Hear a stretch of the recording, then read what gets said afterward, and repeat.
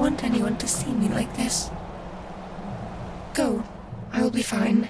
Don't worry. All this blood, I just don't know how it makes me feel.